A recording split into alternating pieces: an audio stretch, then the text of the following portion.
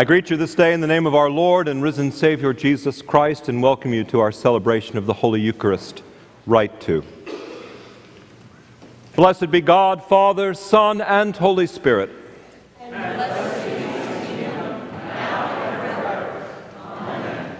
Almighty God, to you all hearts are open, all desires known, and from you no secrets are hid. Cleanse the thoughts of our hearts by the inspiration of your Holy Spirit, that we may perfectly love you and worthily magnify your holy name through Christ our Lord. Amen. Amen.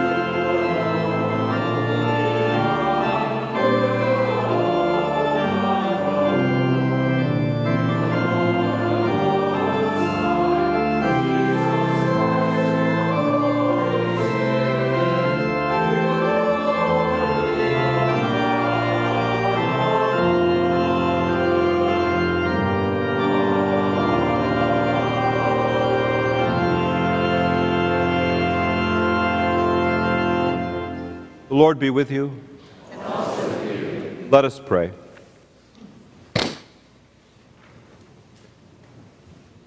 Almighty and everlasting God, you govern all things both in heaven and on earth. Mercifully hear the supplication of your people, and in our time grant us your peace through Jesus Christ our Lord, who lives and reigns with you in the Holy Spirit, one God, now and forever. Amen. Amen.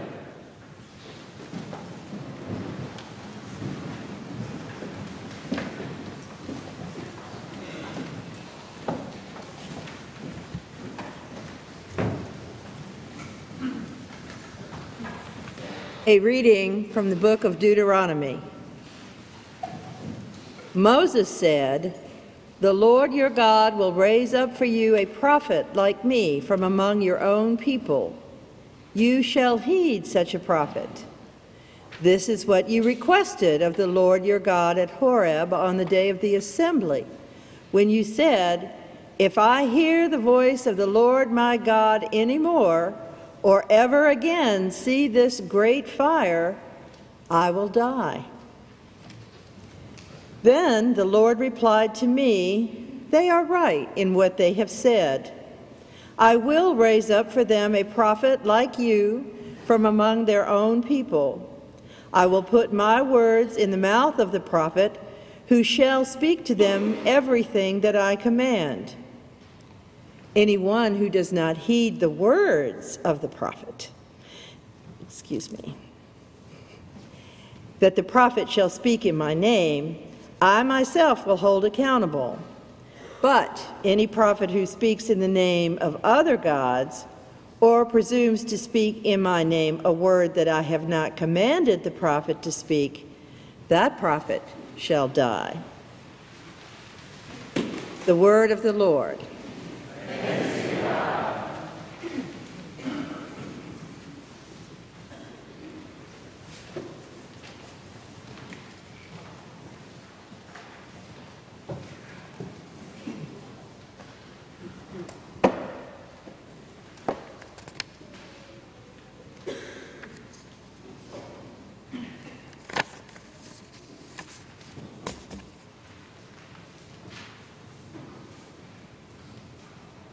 We will read Psalm 111 responsively by half verse. Hallelujah! I will give thanks to the Lord with my whole heart.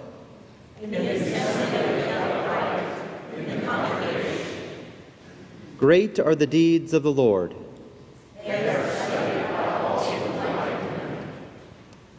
His work is full of majesty and splendor. He makes his marvelous works to be remembered. He gives food to those who fear him. He has shown his people the power of his works. The works of his hands are faithfulness and justice. They stand fast forever and ever. It. He sent redemption to his people. He commanded his covenant forever. Holy and awesome the fear of the Lord is the beginning of wisdom.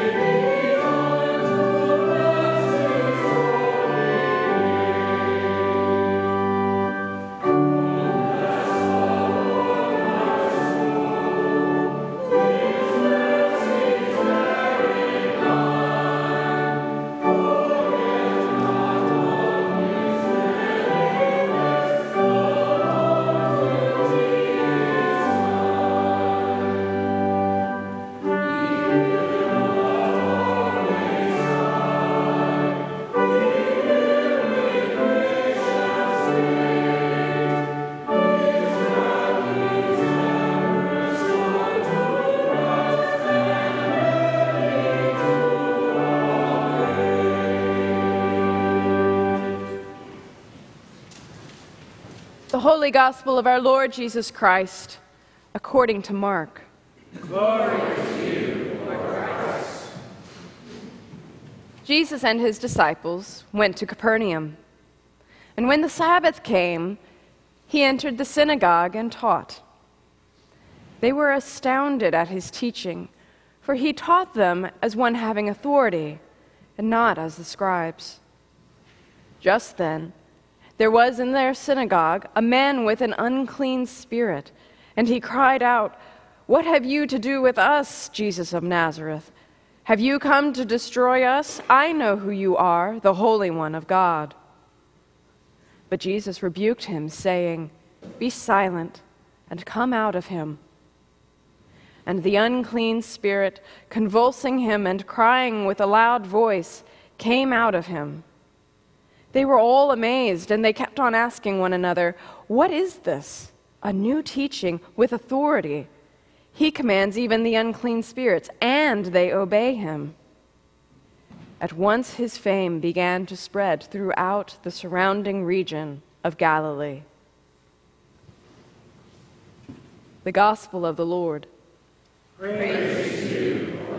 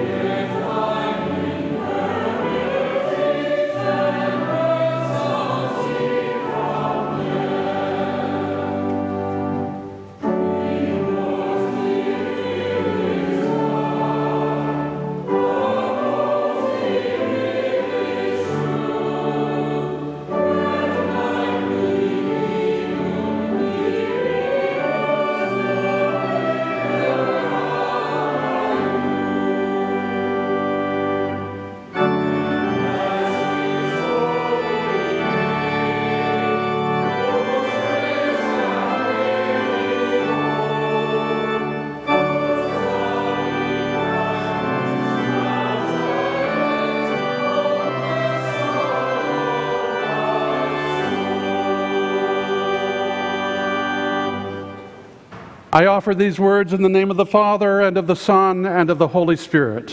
Amen. Be seated, please.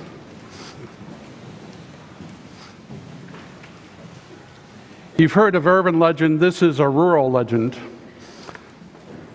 A young man was working on a farm in the deep south one hot summer afternoon, and he looked up into the sky as he was taking a break, lying on his back, he saw some unusual cloud formations in the sky. And as he looked, he felt like he could see some letters being spelled out. And the first letter looked to him a little like a, a G, a G. And then as he looked, another formation came together and it looked like P. And then finally, there was one more letter, and it looked to him like it could be a C. GPC. He took this to be a sign from God, GPC, that he should go preach Christ. So he left the hard work of the farm and got some elders from the local church to lay hands on him to ordain him a minister. This is not the Episcopal Church. And he set out on his new vocation. The people of his congregation were very gracious, kind, and tolerant of him for a time. But it eventually became clear to them that he was terribly ineffective as a preacher and in many other ways unsuited for the life of a clergy person. After a while, this began to dawn on him, on the young man himself. So he went to consult with an older and wiser pastor in the next town he told the older parson about his revelation about seeing the letters in the sky, GPC. And he asked the older mentor what could have possibly gone wrong. After considerable prayerful reflection, the elder minister said to him, My boy, you did, you did see those letters in the sky, and they were a message to you from the Lord. But the problem was one of interpretation. The letters GPC did not mean go preach Christ, they meant go plant cotton. so, in other words, he did not have much authority for what he thought God wanted him to do. One of the most spiritual men I have ever met in my life was my senior advisor when I was in seminary. His name was Jess Trotter and he's gone on to his greater reward now. But at one time, he was dean of Virginia Seminary. But when I knew him, he had stepped back from that role and had uh, become part of the faculty again, teaching young, aspiring clergy theology and Christian spirituality. Jess's life had had many challenges, but one of the most poignant was his son's untimely death. Jesse's son, John, had been a fun loving and very rambunctious boy. He spent five happy years at Choate in the Northeast playing on their football team. He went to Princeton and played football there as well, but was not chosen to go on to the varsity team after his sophomore year. Without football, he had to struggle to keep his weight down and turned to amphetamines, to which he gradually, over time, developed a dependency. In his last year of school, he decided to join the Marine Corps, but because of the drugs, he failed the physical exam with high blood pressure. He sank into a deep and dark depression. And when Jess was 56 years old, when that which seems completely unthinkable happened to him. His son John committed suicide. One day in April, Jess had come home from class for lunch, as was his normal custom. As he entered the house, a shot rang out. Jess rushed to the third floor where his son was, and he died in his arms. As you can imagine, Jess and his wife were plunged into an abyss of agony and pain. They flung themselves on the mercy of God and of the Christian community to get through this dramatically painful experience, which no parent should have to face. They clung to their friends and they clung to God. Jess would later write, I now learned in the depth of heart what my professors had long since taught me intellectually in the classroom that classroom notions, ideas, and concepts of God are fragile things. You can fall right through those concepts, those notions about God. But then, after you've fallen through all of those, you will fall into the hands of God. You will not fall through God into nothingness. There is a divine ground that becomes the ground beneath your feet. You stand, and having done all, you stand because you are standing on the firm ground of God. Jess was able to teach his seminarians as one having authority because he had lived through the pain of human existence and emerged on the other side of it whole and healthy and with a holy hope. The same is true about Jesus as we hear in today's Gospels. The miraculous healings, like the one we heard in today's lesson, are part and parcel of the message of Jesus. The kingdom of God is so very near to us in Jesus that the physical, emotional, and spiritual issues are being restored to health and reconciled to God as He comes near because He speaks as one having authority. He has identified himself with the pain and the suffering of the world, and that gives him the authority to speak of God's kingdom. I think it's, it's very interesting that this particular he- healing is the first thing that happens in Jesus' ministry in Mark's gospel. He has just called together the 12 disciples, and then this event in the synagogue occurs. He does not go far before the cosmic battle between good on the one hand and evil on the other hand clash as a result of his presence. He's in the synagogue when the man with the unclean spirit calls out, What business do you have here with us, Jesus of Nazareth? You, ha- you have come to destroy us. I know who you are. You are the Holy One of God. Jesus tells the spirit to be silent and to come out of the man, which it does. And the people are amazed because he taught and healed as one who had authority and not like one of the run of the mill scribes or Pharisees that they normally heard. In fact, twice in this short piece of scripture, Jesus is spoken of as the one who teaches or who acts with authority. I find this intriguing. Remember, this is the first thing Jesus does after the call of the disciples. And I imagine that they are still wondering what in the world have they gotten themselves into? They are still asking themselves the question who is this man Jesus? And why should I follow him? Just think of James and John and Peter, Andrew, all the rest of them. Are we on the right path here? This guy seems a little different. Are we going to follow him? Well, they are important questions and they must have an answer that satisfies, for they are not only questions to the early disciples who asked themselves, they are questions of Jesus we ask ourselves as well. Who is this man and why should I follow him? I don't know how many times I've asked myself those questions, and I'm certain that you have probably done the same. But I think I've come up with some answers over the the years that helped me understand. I've decided to follow Jesus because when I look at his life, he confronts me with the person I would like to be. One of Shakespeare's characters says to another, He has a daily beauty in his life which makes me look ugly.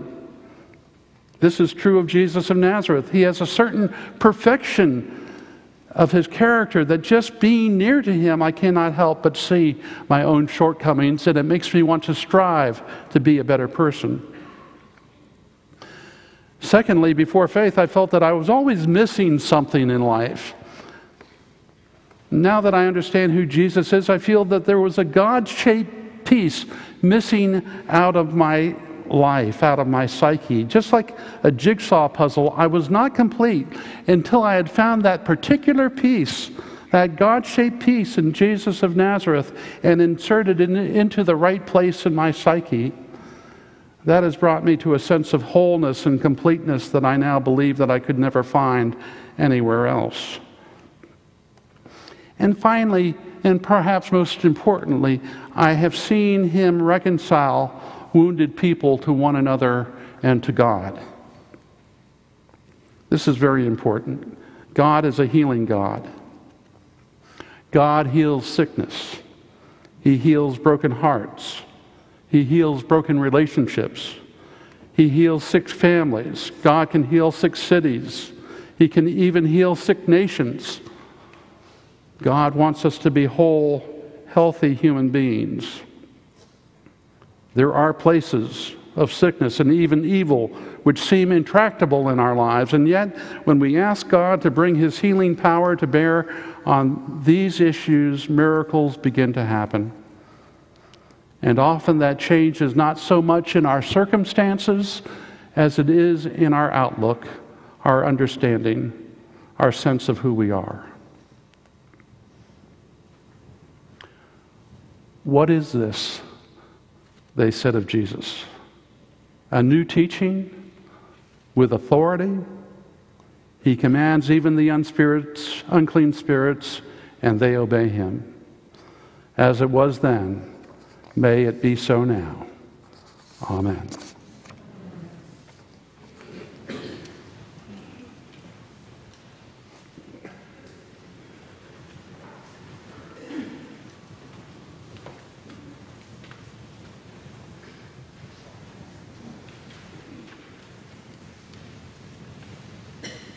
Please stand as we affirm our faith in the words of the Nicene Creed. We believe in one God, the Father, the Almighty, maker of heaven and earth, of all that is seen and unseen. We believe in one Lord Jesus Christ, the only Son of God, eternally begotten of the Father, God from God, light from light, true God from true God begotten, not made, of one being with the Father. Through him all things were made. For us and for our salvation, he came down from heaven. By the power of the Holy Spirit, he became incarnate from the Virgin Mary and was made man. For our sake, he was crucified under Pontius Pilate. He suffered death and was buried. On the third day, he rose again in accordance with the Scriptures, he ascended into heaven and is seated at the right hand of the Father. He will come again in glory to judge the living and the dead, and his kingdom will have no end. We believe in the Holy Spirit, the Lord, the giver of life, who proceeds from the Father and the Son. With the Father and the Son, he is worshiped and glorified. He has spoken through the prophets. We believe in one holy Catholic and Apostolic Church. We acknowledge one baptism for the forgiveness of sins. We look for the resurrection of the dead and the life of the world to come. Amen.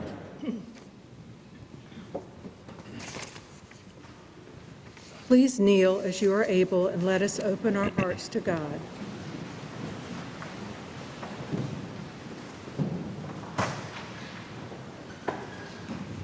Let us pray for the church and for the world. Grant, Almighty God, that all who confess your name may be united in your truth, live together in your love, and reveal your glory in the world. Lord, in your mercy, hear our prayer. Guide the people of this land and of all the nations in the ways of justice and peace, that we may honor one another and serve the common good. Lord, in your mercy. Hear our prayer. Give us all a reverence for the earth as your own creation, that we may use its resources rightly in the service of others and to your honor and glory. Lord, in your mercy. Hear our prayer. Bless all whose lives are closely linked with ours, and grant that we may serve Christ in them and love one another as he loves us. Lord, in your mercy, Hear our prayer. comfort and heal all those who suffer in body, mind, or spirit. Give them courage and hope in their troubles, and bring them the joy of your salvation. Lord, in your mercy, Hear our prayer. We commend to your mercy all who have died, that your will for them may be fulfilled, and we pray that we may share with all your saints in your eternal kingdom. Lord, in your mercy, Hear our prayer. Please join me in lifting up to God those who are sick or in need and who have asked for our prayers today. Brig Allen, Elizabeth Austin, Rickard Brown, Tim Carroll, Dale Chichester, Eleanor Lynch, Kevin Moore, Dorothy Nelson, Catherine Rowe, and Armstead Williams. Pray as well for Nora Ricard and Bob Tracy. We pray for the homeless, the disenfranchised, and all victims of violence in our world. We pray for those studying in our seminaries, especially Kristen Wickersham. Rejoice and give thanks for the birth of Sarah Russell Cox, daughter of Kristen and Trevor Cox, who was born last week. And we give thanks for the lives and ministries of those who celebrate their birthdays this week, especially Nancy Williams, Bill Booker, Tim Carpenter, Jess Goodall, Jennifer Ruth, Claiborne Thompson, and Christopher Goodry, who celebrate their birthday today. In a sure and certain hope of resurrection to everlasting life, we remember John McCann, Bonnie Coghill, and Karen Evans, who died recently, and B.F. and Florence Ayler, and Robert Lee and Blanche Jones, in whose memory the flowers at our altar are given today. May they rest in peace and rise in glory. Almighty God, to whom our needs are known before we ask, help us to ask only what accords with your will, and those good things which we dare not or in our blindness cannot ask, grant us for the sake of your Son, Jesus Christ our Lord. Amen. If we say we have no sin, we deceive ourselves. The truth is not in us. But if we confess our sins, God, who is faithful and just, will forgive us our sins and cleanse us from all unrighteousness. Let us confess our sins against God and our neighbor.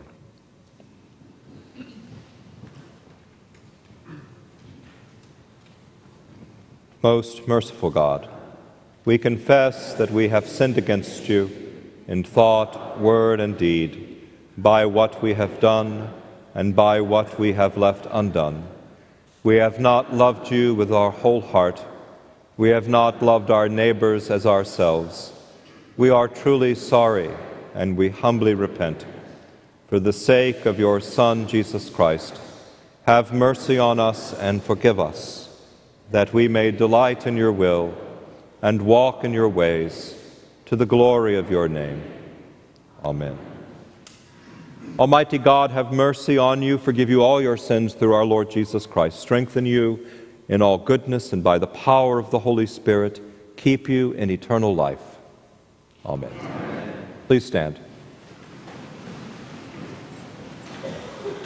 The peace of the Lord be always with you.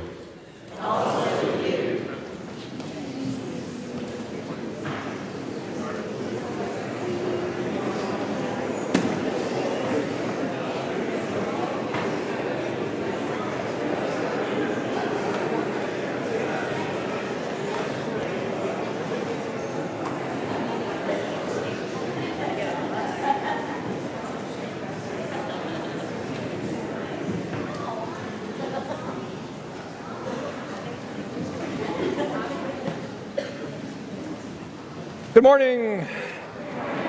Great to see everybody today on this uh, lovely summer day here at St. James's. Um, if you're a newcomer or guest, we're very awfully glad to welcome you today and ask you please do introduce yourself. Uh, following our service, make yourself known to us at the door. Uh, a couple of announcements about our Christian formation program this morning uh, Sunday school classes, uh, youth confirmation class, uh, junior youth fellowship, these will all be meeting. Senior youth fellowship is baking communion bread in Misha House Kitchen. we have a forum, R E A L, Recovering from Everyday Addictive Lives, a Richmond City jail program. It will be led by Dr. Sarah Scarborough, and that will be in Valentine Hall. So I invite you to come and stay for that special presentation. Um, next Sunday, we are very happy about celebrating Youth Sunday. Um, there'll be youth worship leaders both at our 9 and 11:15 services. Uh, please do come out and support our youth ministries. Regular Wednesday night programming also is on this week. Um, evening prayer at 5:30, dinner, Pilgrim's Path, uh, Great Christian Journey ser- series led by Dr. Reverend Dr. Vienna Cobb Anderson, um, who's not with us today, but if you, you may have seen my email, and she is celebrating her, her 40th anniversary of ordination. So if you have an opportunity to wish her well uh, by email or when you bump into her, please do uh, congratulate her. Um, also, I think we have a special announcement from Hillary, so I'll, I'll drag you down here one more time. yes, we're just so excited um, to be ready. We're just around the corner from Womankind 2018, and we're so excited about it. We have wonderful, um, well renowned speakers, keynote, two keynote speakers this year, um, including, um, um, I'm blanking on their names, in fact. That's what happens They're when I so get up well here. known. They're so fact. well known. And everybody already knows them. Everyone all, already knows them. You don't even have to say their names, they're so well known. the Reverend Nichelle Guidry will be here. She is a founder of She Preaches. And, the, um, and Emily Scott will be our preacher. She wrote uh, some books. this is what happens when I come straight in from Children's Chapel. I'm just blank. And Sara Miles, whom you may have known, who wrote "Take This Bread," she wrote from. She is coming from San Francisco, where she, uh, where she worships there. Um, we also have some of you may know the Reverend Dana Corsello will be here. She'll be leading one of our workshops. I know that she's very popular. So we invite you to um, go online and register and find more information there. So I apologize for my clumsy announcement. You were great. Could I have my announcements back so I, I don't forget who I? Um, I'll, I'll be brief. Um, as you know, uh, Mardi Gras is coming up as well. Please do RSVP, get your ticket stuff in. It's important. Uh, we need your help. Please come out, support uh, Mardi Gras for missions. Um, there's a retreat upcoming for Saint, uh, the Society of St. Margaret on Cape Cod, April 12th to 15th. You can read more about that uh, in your worship bulletin this morning. Uh, again, do read your e-chimes carefully. There's lots of information, including uh, wonderful speakers you can read about too uh, in that uh, e-chimes. That's why we print it up so you can find out all about it. And uh, as I like to say, the only thing missing from anything at St. James's is you. Walk in love as Christ loved us, gave himself for us, an offering and a sacrifice to God.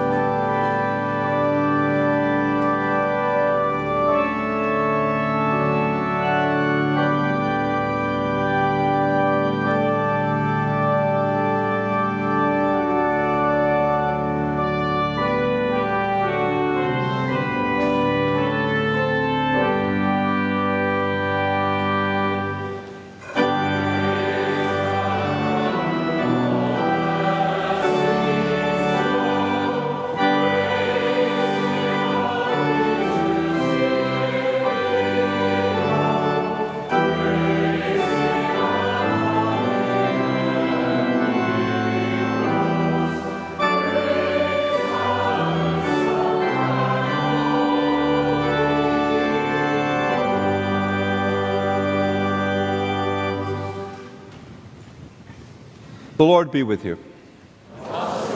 Lift up your hearts. Let us give thanks to the Lord our God. It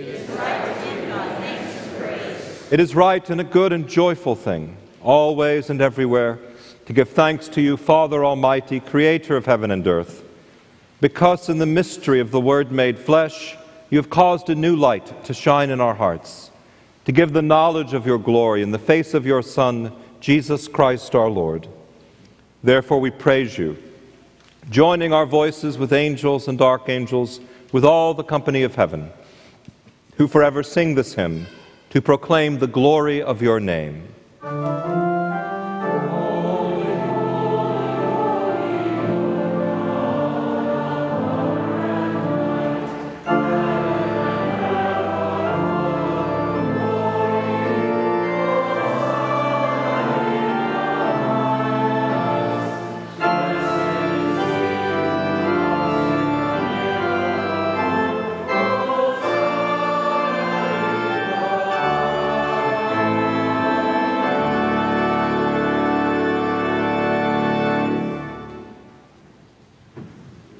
We give thanks to you, O God, for the goodness and love which you have made known to us in creation, in the calling of Israel to be your people, in your word spoken through the prophets, and above all in the word made flesh, Jesus your Son. For in these last days you sent him to be incarnate from the Virgin Mary, to be the Savior and Redeemer of the world. In him you have delivered us from evil and made us worthy to stand before you. In him you have brought us out of error into truth out of sin into righteousness, out of death into life. On the night before he died for us, our Lord Jesus Christ took bread, and when he had given thanks to you, he broke it, gave it to his disciples, and said, Take, eat. This is my body, which is given for you. Do this for the remembrance of me.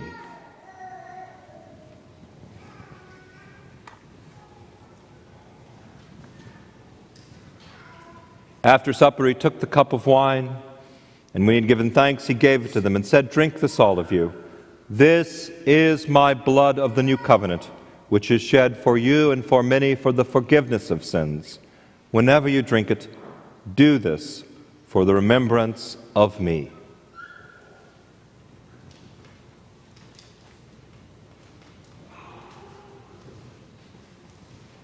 Therefore, according to his command, O Father, we remember his death. We proclaim his resurrection. We await his coming in glory. And we offer our sacrifice of praise and thanksgiving to you, O Lord of all, presenting to you from your creation this bread and this wine. We pray you, gracious God, send your Holy Spirit upon these gifts, that they may be the sacrament of the body of Christ and his blood of the new covenant. Unite us to your Son and his sacrifice that we may be acceptable through him, being sanctified by the Holy Spirit.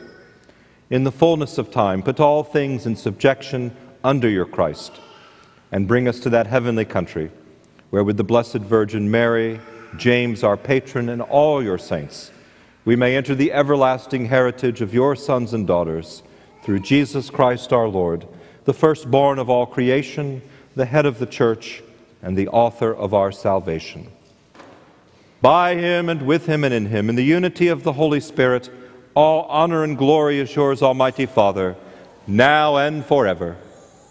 Amen. Amen.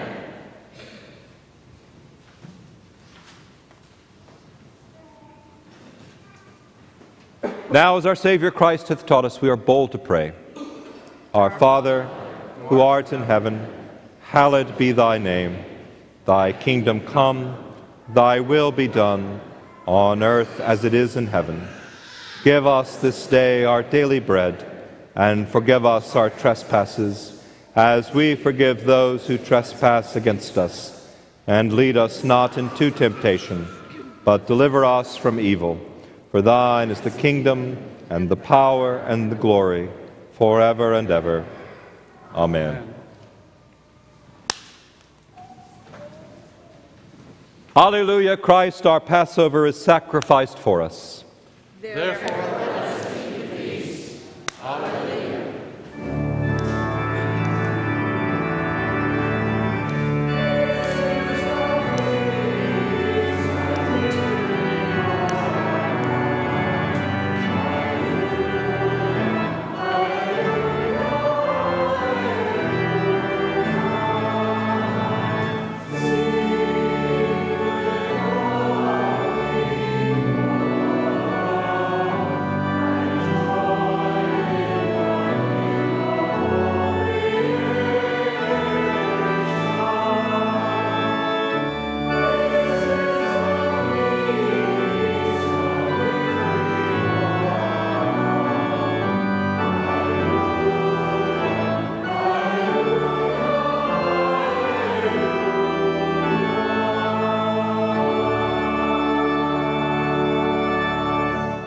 the gifts of God for the people of God. Take them in remembrance that Christ died for you. Feed on him in your hearts by faith with thanksgiving.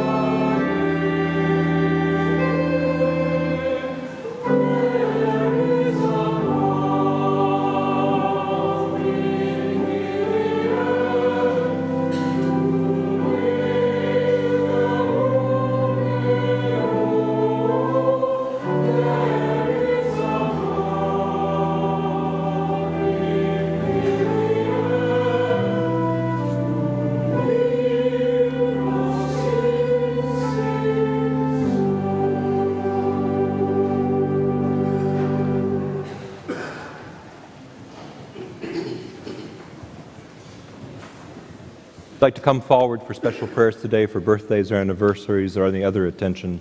I invite you to come forward now at this time.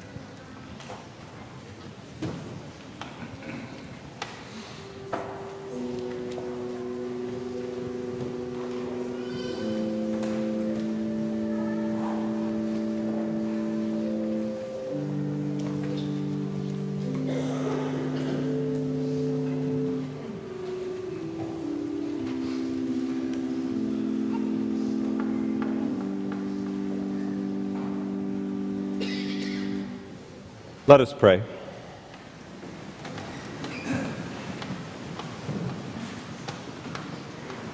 Eternal God, Heavenly Father, you have graciously accepted us as living members of your Son, our Savior Jesus Christ, and you have fed us with spiritual food in the sacrament of his body and blood. Send us now into the world in peace, and grant us strength and courage to love and serve you with gladness and singleness of heart, through Christ our Lord. Amen. The peace of God, which passes all understanding, keep your hearts and minds in knowledge and love of God, and of his Son, our Savior Jesus Christ, and the blessing of God Almighty, the Father, the Son, and the Holy Spirit be upon you, remain with you, now and always. Amen.